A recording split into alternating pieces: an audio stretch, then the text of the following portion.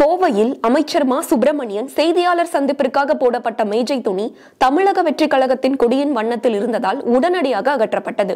இந்த நிகழ்வு தமிழக வெற்றி கழக தொண்டர்கள் இடையே சிரிப்பலையை ஏற்படுத்தியுள்ளது. நடிகர் விஜய் கட்சி ஆரம்பித்து தனது முதல் மாநாட்டில் தமிழ்நாட்டில் நடக்கும் குடும்ப ஆட்சியை வெளுத்துவிட்ட பிறகு திமுக மற்றும் அதன் கூட்டணி கட்சிகளுக்கு பதற்றம் தொடங்கிவிட்டது.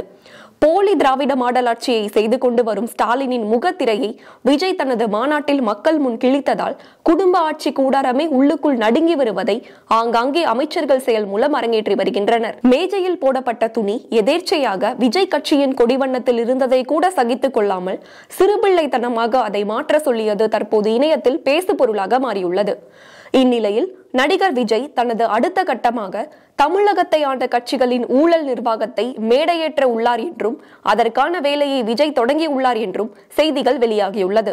இதனால் தமிழக அரசியலில் விஜய் தவிர்க்க முடியாத சக்தியாய் மக்கள் மத்தியில் ஆகிவிடுவார் என்று நம்பப்படுகிறது.